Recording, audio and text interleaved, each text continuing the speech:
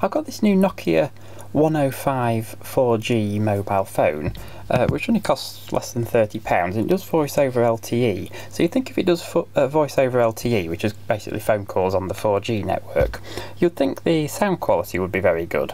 But it actually has absolutely atrocious sound quality. Now I'm going to do a proper review and I'll even do a teardown, but I just thought I'd demonstrate the atrocious sound quality first of all. So if I just call, do a call, I've got the microphone there. Star 105, that'll tell us the time. The current time is 4.37 in the. Current time is 4.37 in the morning. Now that was probably intelligible, but what you may have noticed is it uh, sort of cuts off the beginning and ends of words and uh, sounds a bit muffled. That's because it's actually employing some sort of noise reduction uh, somewhere in, in here. So if I cut, this is uh, more evident if we play some music, so I'll put some hold music on.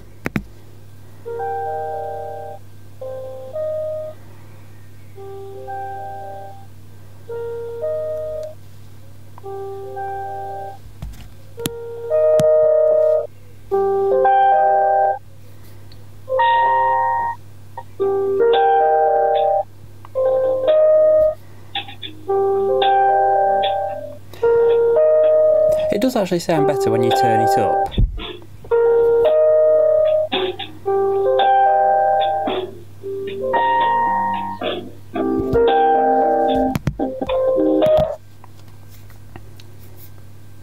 So for the sake of comparison, here's the uh, trusty old Nokia 6150, which dates from about 1998, and this one's on GSM. It's too old for 4G, so we'll just do the same calls on here.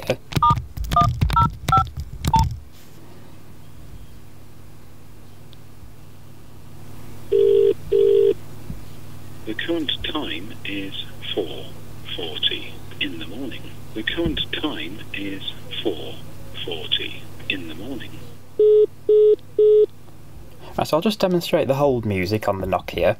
Uh, this uh, actually uses the GSM codec, uh, so it should sound absolutely terrible for music, but uh, it will. You, you'll probably find it will actually sound better than the new Nokia.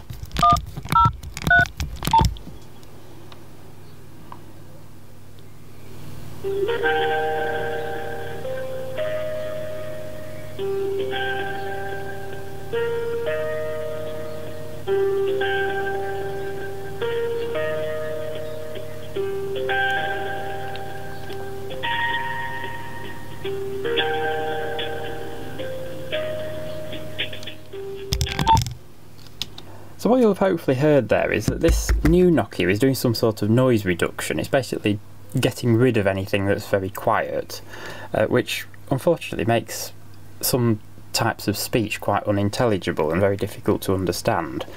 Um, you'd think, uh, I know it's only 30 quid, whereas this one would have been several hundred pounds when it was new, but you'd think uh, something new that does voice over LTE would have at least satisfactory sound quality. And I mean, this has an FM radio, um, it's got a headphone jack, it's got dual SIM cards and uh, a memory card slot, so it's got some, it's got more features than some high-end smartphones have for 30 quid. So, um, and the the radio sounds quite good. So you'd, you'd think if they can get that right, they'd at least get a decent sound quality on a phone call. Now, if you want to know what those calls should sound like, here's what it sounds like on a proper voice over IP phone.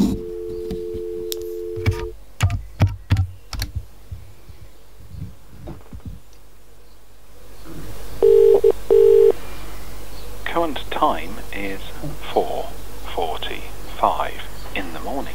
The current time is 4.45 in the morning. And we'll just test the, the hold music.